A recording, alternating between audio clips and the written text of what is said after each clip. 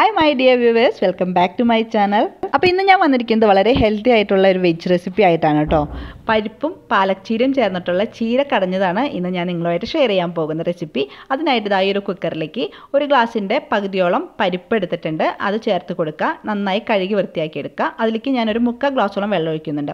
ഇതൊരു മൂന്ന് വിസിൽ വരുത്തണം. അതിനുശേഷം നമ്മൾ തുറക്കുമ്പോൾ ഈ പരിപ്പാണ് മുകളിലേക്ക് ഇങ്ങനെ നിൽക്കേണ്ടത്. വെള്ളം കുറച്ച് താഴെ ഉണ്ടാവാൻ പാടുള്ളൂ. അത്രയ്ക്കും വെള്ളം നമ്മൾ ഒഴിച്ചു കൊടുത്താൽ മതി. ഇനി ചെറിയ രണ്ട് തക്കാളി ആ, അരിഞ്ഞത് ചേർത്ത് കൊടുക്കുക. ചെറിയൊരു സവാള അരിഞ്ഞത് ചേർത്ത് കൊടുക്കുക. മഞ്ഞൾപ്പൊടി പിന്നെ കുറച്ച് എണ്ണ ചേർക്കുന്നുണ്ട് കേട്ടോ. ഇത് എന്താണെന്ന് വെച്ചാൽ ഒരു പരീക്ഷണാർത്ഥം ചേർത്തതാണ്. പലരും പറയുന്നത് കേട്ടോ അങ്ങനെ ചേർത്ത് കഴിഞ്ഞാൽ വിസിൽ വരുമ്പോൾ കുക്കറിന്റെ മുകളിലേക്ക് അത് വരില്ല വെള്ളം പോലെ വരില്ല എന്ന്. പക്ഷേ ആണ് കേട്ടോ. ആരും പരീക്ഷിക്കേണ്ട എന്റെ കുക്കറിന്റെ പുറത്തേക്കൊക്കെ വന്നു. പിന്നെ കുറച്ച് ഉപ്പും കൂടി ചേർത്ത് അടച്ച് വെച്ച് വിസിൽ വരുത്തുക.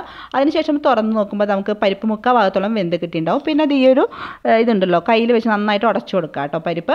അതിനുശേഷം വേറൊരു പാത്രം അടുപ്പത്ത് വെച്ചിട്ട് അതിലേക്ക് സൺഫ്ലവർ ഓയിൽ ഒഴിച്ചു കൊടുക്കുക. എണ്ണ നന്നായി ചൂടായതിനു ശേഷം നമുക്ക് അതിലേക്ക് കടുക് ചേർത്ത് കൊടുക്കാം. കടുക് പൊട്ടി വരുന്ന സമയത്ത് കുറച്ച് ഉഴുന്ന് ചേർക്കുക. അത് നന്നായി മൂത്ത് വരുമ്പോൾ അതിലേക്ക് ജീരകം കൂടി ചേർക്കുന്നുണ്ട് കേട്ടോ കുറച്ച് അത് നന്നായി മൂന്നും കൂടി ഒക്കെ നന്നായി വഴറ്റിയെടുക്കുക. അതിനുശേഷം അതിലേക്ക് കറിവേപ്പില അതുപോലെ രണ്ട് പച്ചമുളക് അരിഞ്ഞതും കൂടി ചേർത്ത് നന്നായിട്ട് വഴറ്റുന്നുണ്ട്.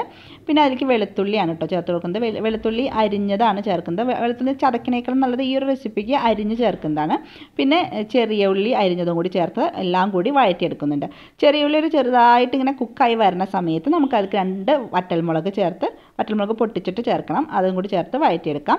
പിന്നെ കുറച്ച് കായപ്പൊടി നല്ലൊരു സ്മെല്ലിന് വേണ്ടി ചേർത്ത് കൊടുക്കുന്നുണ്ട് കേട്ടോ.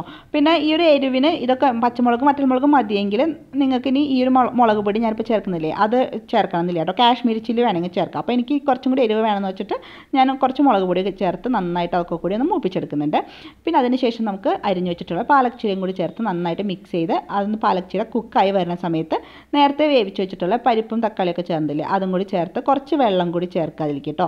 ഇത്തിരി കൂടി വെള്ളം വേണം. അത് ഭയങ്കര കട്ടിക്കാണ് ഇരിക്കുന്നത്. പിന്നെ കുറച്ച് ഇത് ഉപ്പ് ഇതിന്റെ ആവശ്യത്തിനുള്ള ഉപ്പ് ഈ സമയത്ത് ചേർത്ത് കൊടുക്കാം.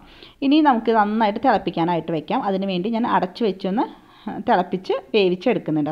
നന്നായി തിളച്ച സമയത്ത് നമുക്ക് ഇതുപോലെ ഒരു കയ്യിൽ വെച്ച് ഇളക്കി പരിപ്പും അതുപോലെ തന്നെ ചീരലയും കൂടി മിക്സാക്കി ഇതാണ് കടയൽ എന്ന് പറഞ്ഞാൽ നന്നായിട്ട് ഇങ്ങനെ കടയാൻ കേട്ടോ. കടയാൻ വേറൊരു സംഭവം ഉണ്ട് എന്റെ കയ്യിൽ അതില്ലാത്തത് കൊണ്ട് ഞാൻ ഈ ഒരു കയ്യിൽ വെച്ച് കടഞ്ഞെടുക്കുകയാണ്. ദാ നന്നായി തിളച്ചു. നമ്മളുടെ റെസിപ്പി റെഡി ആയി. വളരെ ടേസ്റ്റി ആയിട്ടുള്ള ഹെൽത്തി ആയിട്ടുള്ള റെസിപ്പിയാണ് നിങ്ങൾ എന്തായാലും ട്രൈ ചെയ്ത് നോക്കുക. നിങ്ങളുടെ അഭിപ്രായം കമന്റ് ബോക്സിൽ കമന്റ് ചെയ്യുക. അതുപോലെ ഈ വീഡിയോ ഇഷ്ടപ്പെട്ടാൽ ലൈക്ക് ചെയ്യാൻ മറക്കരുത് കേട്ടോ.